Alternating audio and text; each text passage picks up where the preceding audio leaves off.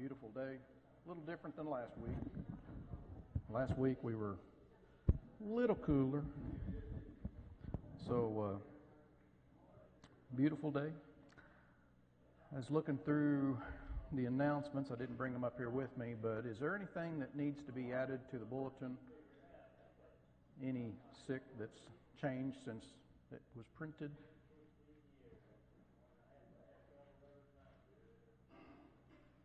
Okay, very good. Very good. Well, Bob, do you mind to lead us in a prayer, Bob, before we begin?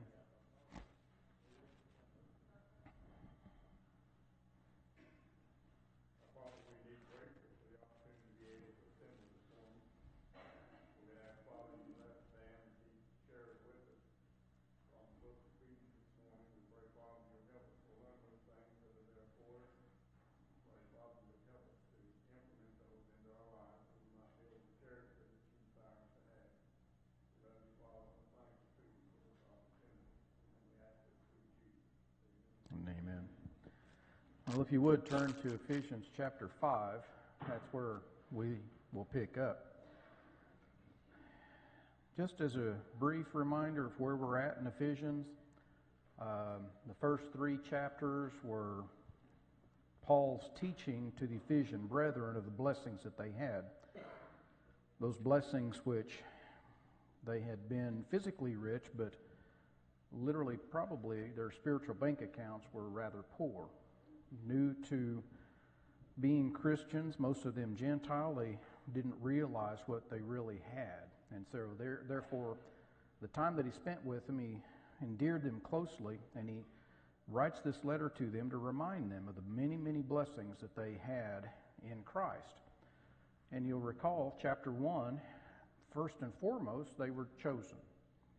Chosen of the Heavenly Father, redeemed by the Son, sealed by the Spirit.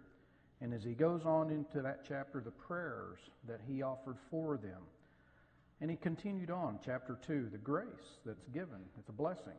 And he continues on in the blessings that we have in Christ. And he prayed that they would realize that. He prayed that they would come to knowing those things. And so, as he gets into chapter 4, then, those blessings weren't just simply blessings not to be enacted upon, but now we get in from chapter 4, 5, and 6, then the latter half of the book, the duties we have to use those blessings. Chief among them, as he mentioned, the blessing of the gifts that we have to be used to the edifying of the saints. That after being one of the very first things that he calls people, I'm sorry, Christians to do was first thing that he called for in chapter 4 is to be unified. Unified together. He called for oneness. And he explained what that was. It was very simple one body, one spirit, one hope, one Lord, one faith, one baptism, one God and Father of all. So that oneness he calls them to do and to use their gifts and their talents together to grow. Verse 16 of chapter 4. And as we talked about last week, a call to holiness and purity. Being separate from the world, we're not of the world any longer, but put that old man off and put on the new man of Christ. And as he mentioned, for those that stole, steal no more, use yourself to the benefit of others, making use of yourself.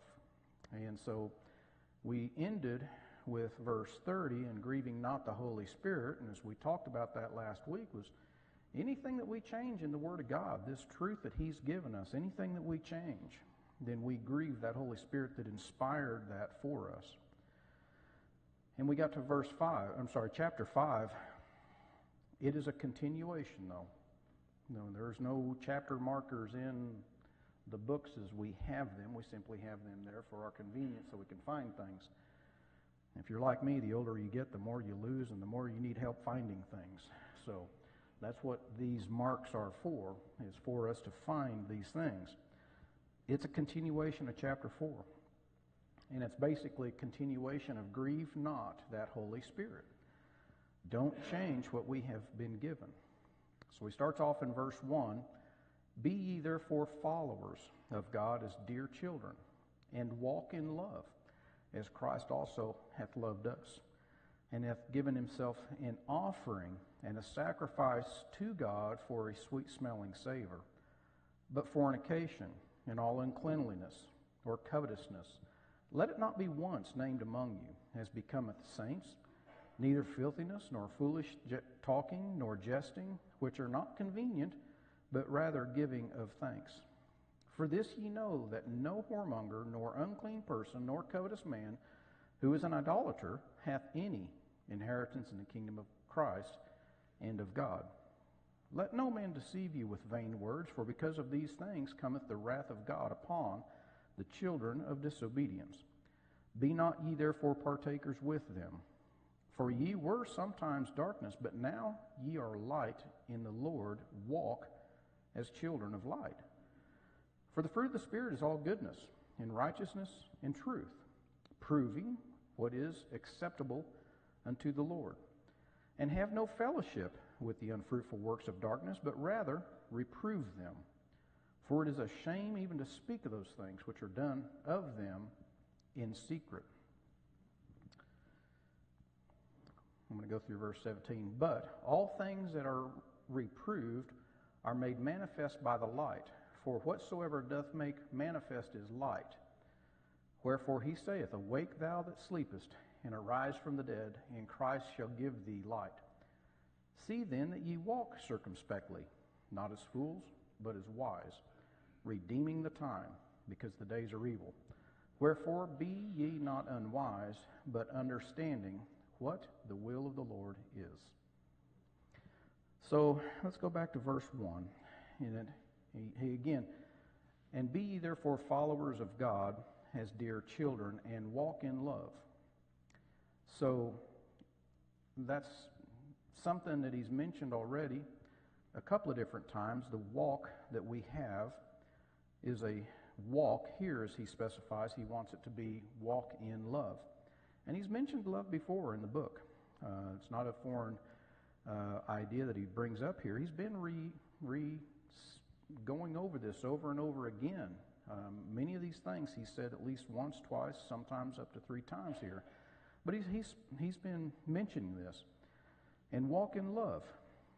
I didn't look in the Greek, but I anticipate that this love would have been the agape love, I would expect, because he references as Christ also hath loved us.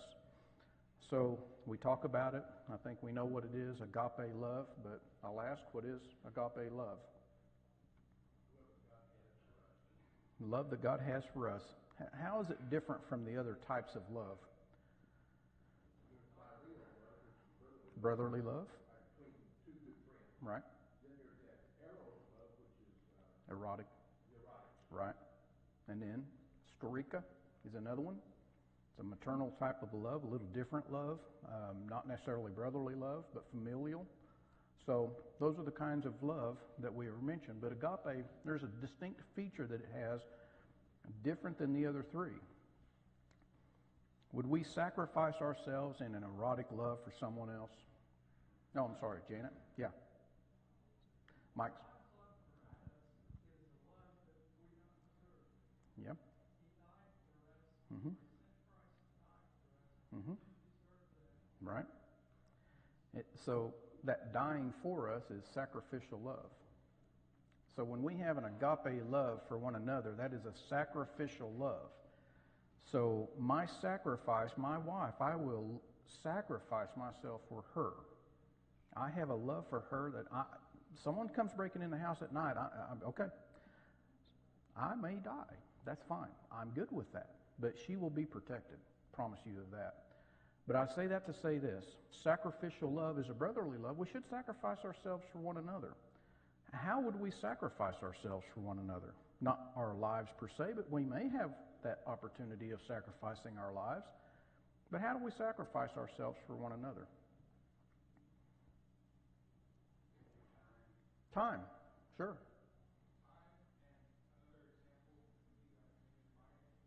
Yeah.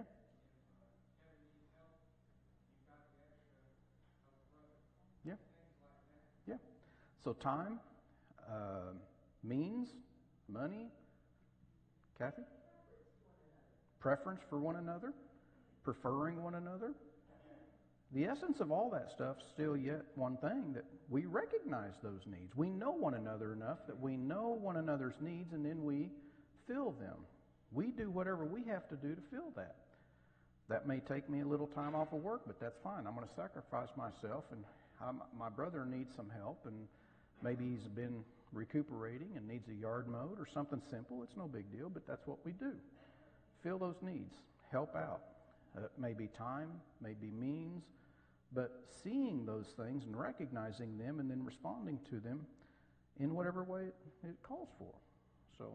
Now, I, I've noticed that a lot of these that I'm hearing are corporeal in our physical bodies. Mm-hmm. I think on top of it all is all of our obligations to help each other out spiritually. Mm-hmm. To speak about Christ, to speak about God, to speak about. I know it's it's a, an interpretive difference, but in the ESV it says, "Therefore, be imitators of God, not just followers."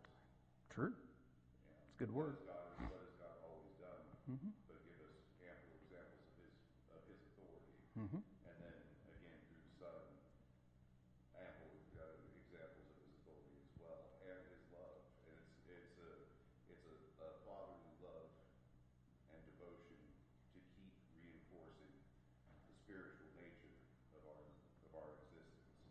The hope is is that if we secure that spiritual nature, that the Holy Spirit will grab a hold of us, all of us, as we keep working on each other spiritually, so that everything else will fall into place.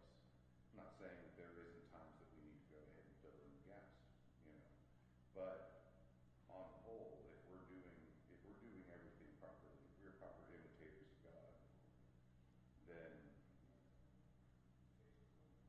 quite literally everything should fall into place.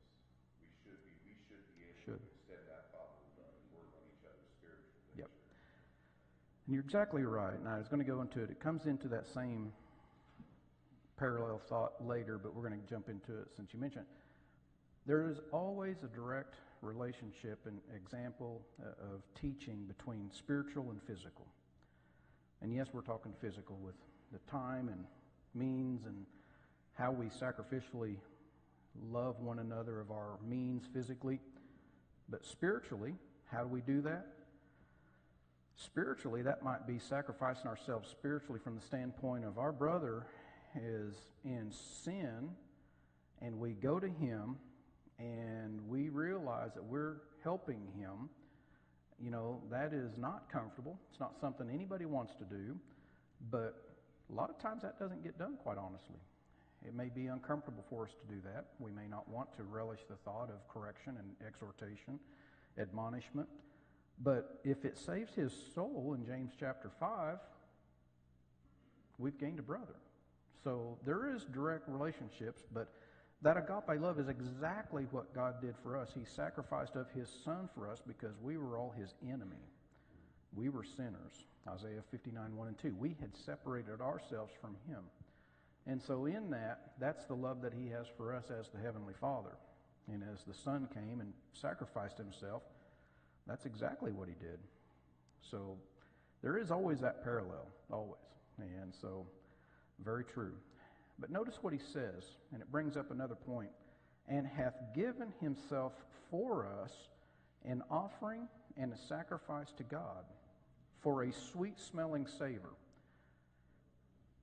Was there ever, and again, I ask because I may get corrected. I got corrected on who was a. Um, I've asked these questions sometimes not realizing myself of, was there ever another person that did that? Well, I've been, my wife will bring it up to me, but I'll ask the question here. Was an Old Testament reference of sacrifice ever referenced as being a sweet smelling savor? When? Is it? Okay. Okay. Good. The reason I'm asking is because physically you think about the dead sacrifices offered, I wouldn't expect that to be a very sweet smelling savor. Now, in reference to God accepting that, I've just not, maybe there is, and I'll look and see. I appreciate that. But we do know this that Christ's sacrifice was a sweet smelling savor. What is a sweet smelling savor? Yeah. It was acceptable by him. It was pleasing to him. It's what he desired. That sacrifice fulfilled what was required. And for God, this recipient of that, it was like a sweet smelling savor. Very similar to when we sit down and have our meal. I mean, first thing we notice is what's it smell like? If it smells like a possum that's been hit on the road and you get it on a platter, are you gonna you gonna eat that thing? Well, I, some people might, but most most would probably not, right? So I'm just saying it is our first sense that is satisfied actually when we sit down before we taste. And we may eat with our eyes, we may eat with our nose. It is a smell that's taken in. But Christ's sacrifice was described as a sweet smelling savor. And then he goes on. But fornication, all uncleanliness, covetousness, let it not be named, I'm sorry, once named among you as become as saints. Now, last chapter, he called us to holiness. He told, he, he, he exhorts the saints to be holy. Holy is consecrated, set apart. We're not of the world. We don't just go out and live sinful lives and come to church on Sunday morning and expect that we're just fine. That's not the way this works. If we are called out and uh, out of the world, if we've put him on in baptism, then we are separate from the world. We're no longer of the world. And we can't participate in fornication. As we mentioned last work, lasciviousness or unrestrained desires that just go uh, into anything that we want. We can't be undisciplined and just do whatever we want. He says here, uh, covetousness. What's covetousness? We sometimes use this word, sometimes we don't. What is it when you covet? Envy. Envy of something else that you would like to have at whatever means it takes to get it. And you can, there's a lot of things we're going to get into here that we can covet and desire more than we should. Let it not be once named among you. Now, if we're separate and apart from the world, if we're holy and if we're consecrated, if we're not participating in those things, will it be named once among you? It shouldn't be. That's what he's saying here. Let it not once be named among you as becometh saints. Neither, and he goes on, neither filthiness. Well, that's generally, we know what that would be, correct? What would be filthiness?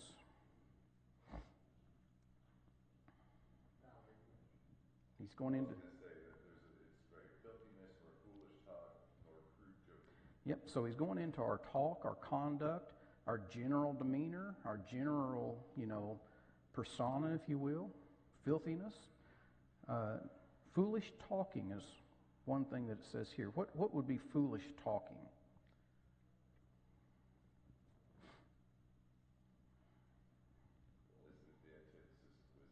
Mm-hmm. Yeah. Things that don't matter. If it doesn't matter, you're looking back. One way of foolish talking is in reference to, I kind of looked at the Greek briefly on this, is looking back and scolding and scoffing people's achievements after they've done them. Right? That's an easy way to look back on very pessimistically, tearing people down when they've done something perhaps good and, and fine. And looking back and foolishly talking about it. Being critical where we ought not be critical. Nor jesting. What's jesting? We don't talk about jesting very much. Okay, it's the jokes that we tell that are not proper. So when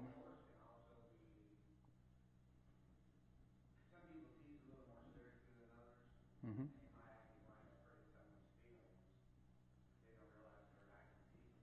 Yep. Yeah, and so we we know you know the um, off-color jokes that get told. Um, in fact. What's that? Gallows humor. Yeah, yeah.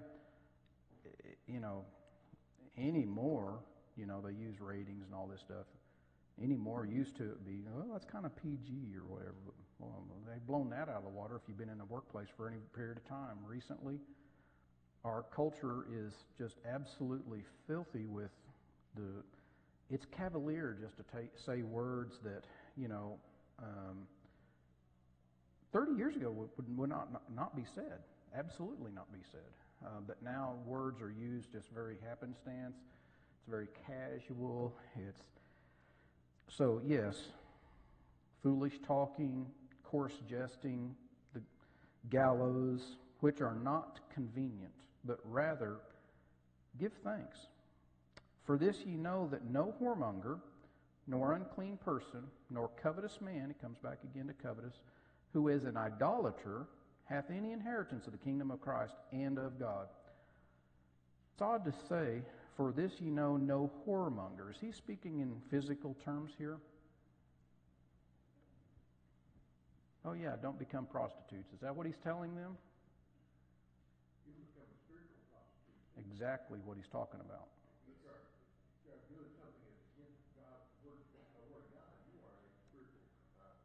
It, it's literally to sell oneself into that trade.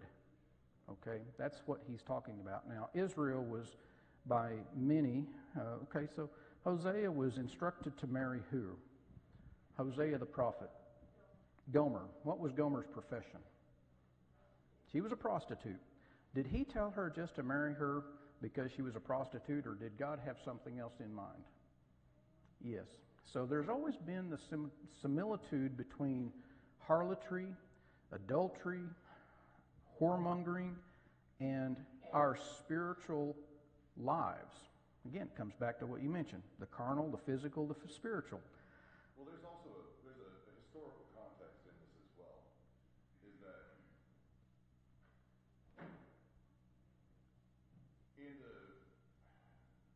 inside of Baal worship, there was a lot of like they had Well, they did. prostitutes, men, men and women. They did. You know, they have there's like so there's like this this cultural They did. aspect of when the lowercase g gods started pushing their influence into They did. into Israel and, and what levels of debauchery that, were, Uh-huh. that came along with that, and that the warnings that we get about what seem like simple fleshly desire, it's implied at least that there's there's something else out there that that pushes on tho- those fleshly desires and makes them harder to avoid the more often that you're exposed to them.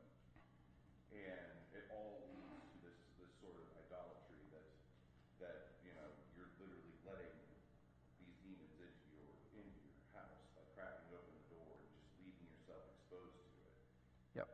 So definitely, Temple of Diana, Artemis, very, very filthy. That's when he's talking about all this filthiness and lasciviousness and this whoremongering is physical. But what was Israel throughout much of her fall was making in likeness to what?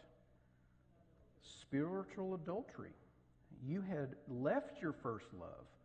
You had gone into a relationship with others who were forbidden. It was very clear from the very get go. You cannot do these things and expect to be the children of Israel. But they did them, they accepted them, they welcomed them. And so they fell into captivity. And so they fell into the world, and they. Um, so there is that likeness of here, of this.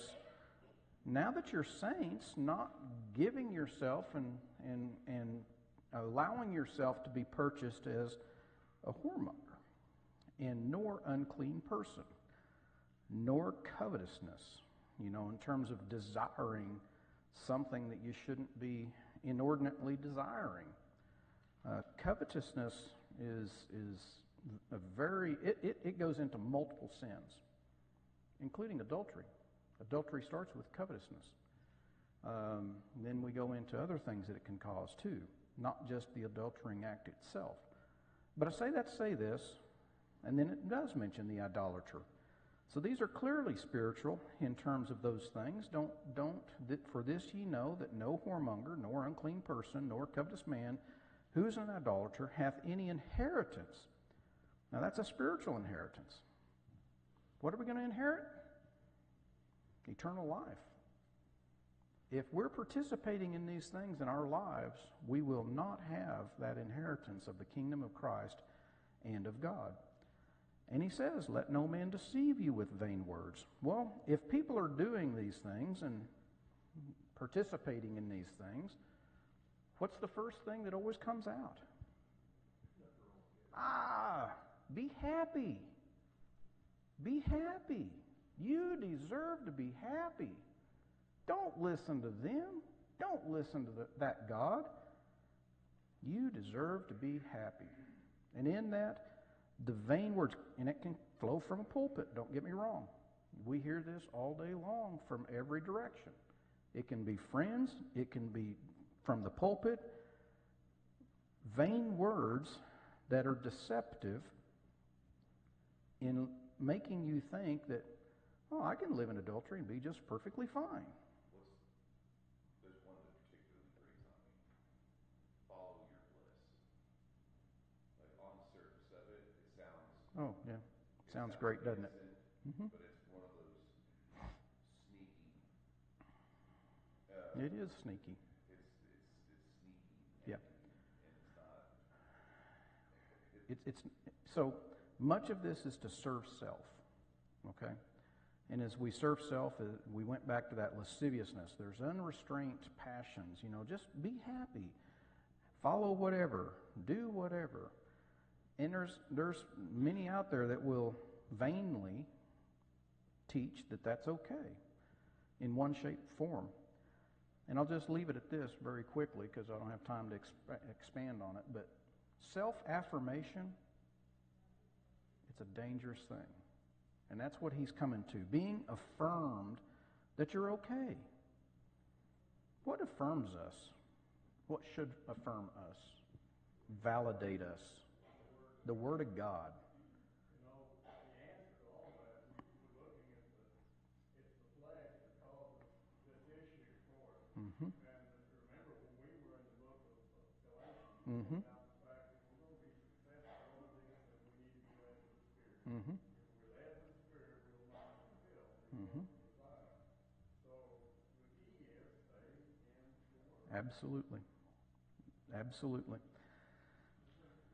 Yeah, sorry.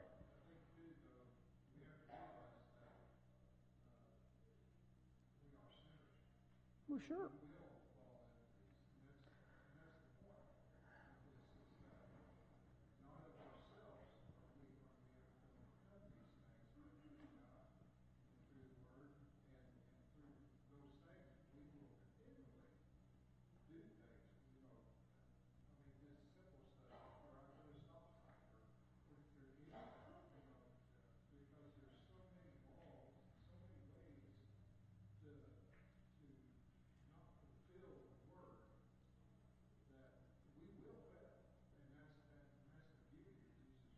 Mhm.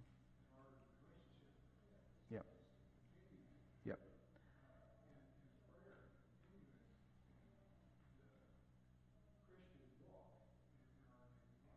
Yep. And the difference here is these are deliberate acts that take us out of that, though. You know what I'm saying? You don't just accidentally find adultery and just one day figure out, right?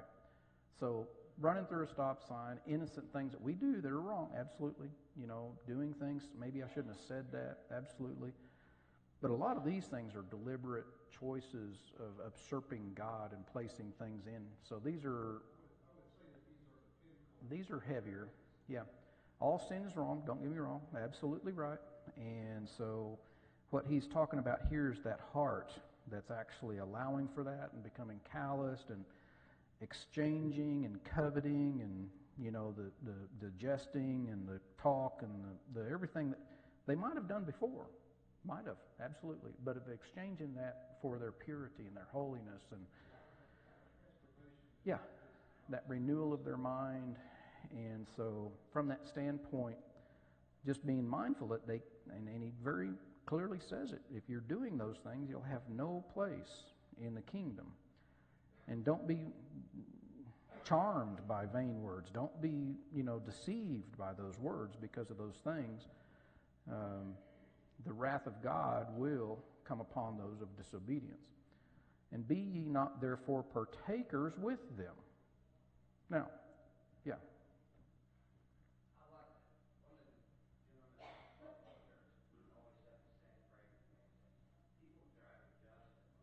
Mm-hmm. Sure. That's why I say self. Yeah. Yeah. That's why I say you've got to be careful how we affirm ourselves because we can always affirm ourselves in some way, shape, and form, it's an excuse. But unless we're comparing ourselves to the Word, that's what's going to validate us in the end. Now, remember Ephesians five is talking about four, three different types of walks. Yeah. This first one is walk in love. Mm-hmm. How can you do these things and expect God to be able to walk with you? Yep. So if He can't walk with you, you are one of those children of disobedience. You are. Yep. You fall away just as quick as you never, even like you never even And, and you're grieving the Holy Spirit. And that's the, the, the flow from that is that all these things are grievous to the Holy Spirit, whom we're sealed by. So we can't say that and live that and do that and grieve the Holy Spirit and think in some way in our mind that we're just fine, that we're just okay. We're not. Notice what he says Be therefore not partakers with them. Partakers. Now, how do we partake in that? Absolutely. You're, you're, that's partaking. You're joining in. He's going to use another word that really clarifies it in a moment. But we can't partake in that with them. You can't just go down and party with them. You can't just go down and take part in the um, joking and the coarse jesting and the dirty talk. And uh, as I've mentioned, at work, people know there's things I'm not going to go do on a Friday night. I'm not going to go down and drink with you. I'm not going to go down and watch dirty movies with you. I'm not going to go down and just, there's things that we don't do. And that's the walk that we have. People should know that. Be ye not partakers with them. No, they'll invite you in. As a Christian, they would love for you to participate with them because then they think they're okay. See the slippery slope. Therefore, be not ye therefore partakers with them. For ye were sometimes darkness. Yeah, we all were. Romans 3.23. We've all sinned and fallen short of the glory of God. We all have. We've all been in darkness. But now are ye light in the Lord. Walk as children of light. Yes. So walk as children of light. How many times has he been saying walk here? Verse 1 Walk worthy, he says. And he said it several times walk as children of light. Again, we can't say one thing and do another. It's either we're walking it and doing it, or we're not. Walk as children of light. For the fruit of the Spirit is all goodness, righteousness, and truth. That's what we've been talking about here. Yes, that is. God is what? Good. God is good. And God and he is righteous and he is truth. That's exactly right. And as we're in him, we're to walk as light. It is. It is. And so from that standpoint, we're going to fall, like Haley mentioned, absolutely. First John chapter 1, we're going to have that blood of Christ cleansing us then. But not that we're willfully choosing a lifestyle, not the, the, the way that the world lives. And we're not participating with them in it. We can't. We're holy. We're separate. We're, we're different. Proving. Now, that's a big word. Proving what is acceptable unto the Lord. I went back to Romans chapter 12, 1 and 2 last week. But what does it say? Very similar, very similar language. Romans chapter 12, 1 and 2.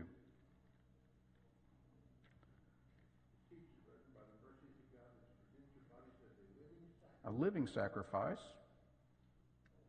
holy, acceptable to God, which is our reasonable service. It's the most reasonable thing I can do. If I've got an ounce of common sense in my head, that's the most reasonable thing I can do. I'm dying in my sins.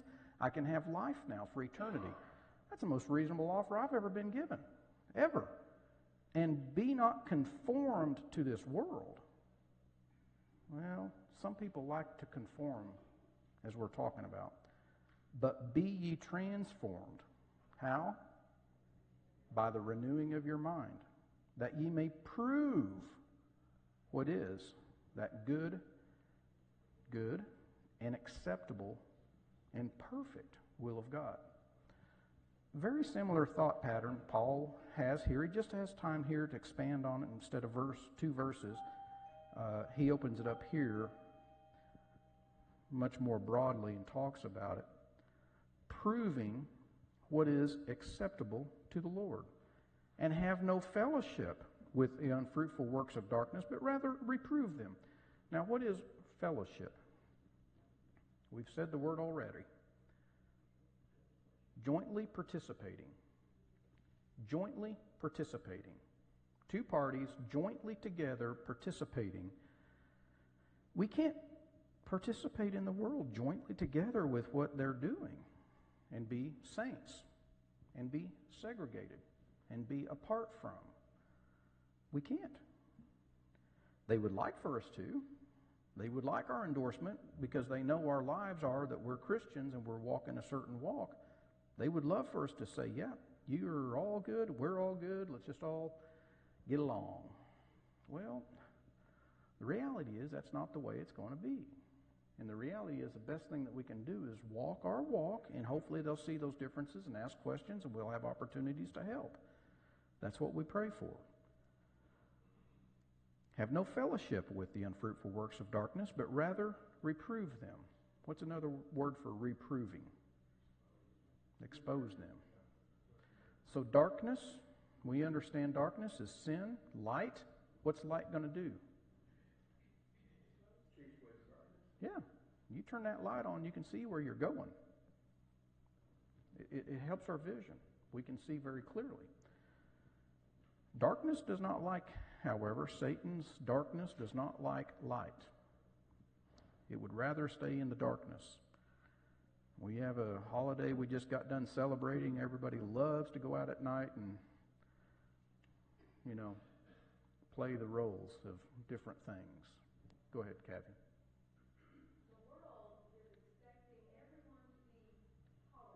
Yes. No. I know. We can be loving, and that's a different issue. But tolerance of sin, nowhere in the Bible is explained as being what we are experiencing today in our culture, which is you tell me it's okay, basically. Well, we can't tell them it's okay. You can't live in sin and be okay. The lifestyles of sin are not okay. He's gone through them. It's very clear there's this a very separate line there. Uh, but we do. We live in a, a, culture that, you know, expects us to say, let's just tolerate one another and just all get along. Well, we can get along, but I'm not going to say that it's okay. That's a different issue. Big different issue. For the things that they're doing in verse 12, for it is a shame to even speak of those things which are done of them in secret. Speaking to what you was talking about, their worship, the, the whoremongering, harlotry, pagan worship, you don't even want to talk about it, honestly. If you don't know about it, good for you. You got a pure, innocent mind. Keep it that way. But if you are reading anything about what their pagan worship used to be, it's disgusting. It's filthy. It's, it's pure, unrestrained passions in exchange for the little God worship. But it's really worship of oneself, really. It's not really that little God. Or both. Uh, for some, it probably is just that one, but the others, they might Yeah, okay, they may offer something for something else. But all things that are reproved are made manifest by the light. For whatsoever doth make manifest is light. Wherefore he saith, Awake thou that sleepest, and arise from the dead, and Christ shall give thee light. And see then that ye walk circumspectly, not as fools, but as wise. What is to walk circumspectly?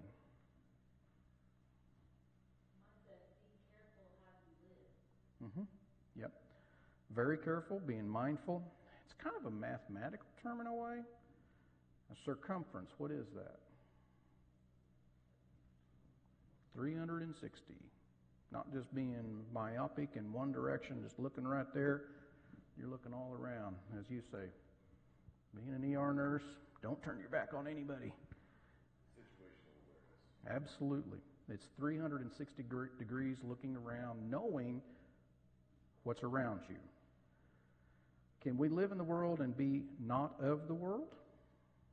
Absolutely. We live in a world, we do, but we're not of the world. Walking circumspectly is to know that we live in that world. It's a dangerous world. There's things around us all over. We have to walk with full awareness of what's around us, circumspectly. Not as fools, not like we was talking about back in verse 4, not with foolishness, but wise, redeeming the time because the days are evil. Time is the most precious commodity we have, period, bar none. We have a lot of things in our lives that we have, but time is the most valuable thing that we have. Nobody in their end wishes, I just wish I could have worked one more day. it's not on any tombstones, I'm telling you, none.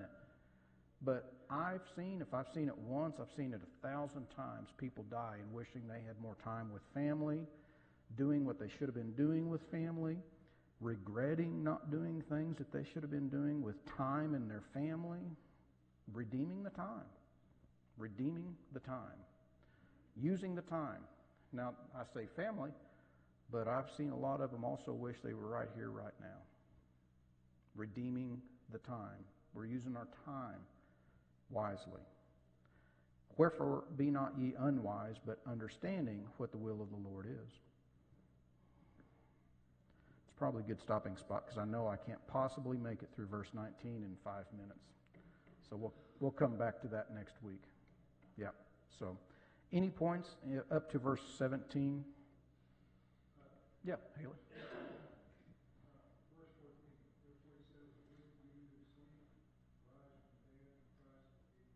Mm-hmm.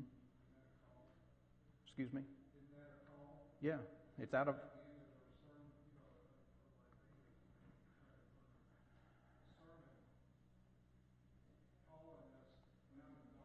Yep.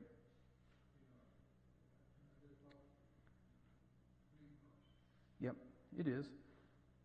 And, you know, it's, it's out of Isaiah, so I'm not sure the prophecy that he's talking exactly if he's talking about you know, as we become Christians now, that Paul's referencing that, walking, you know, from the dead because we were dead before Christ. Um, I'm, I'm given, probably that's what he's talking about. Um, mm-hmm.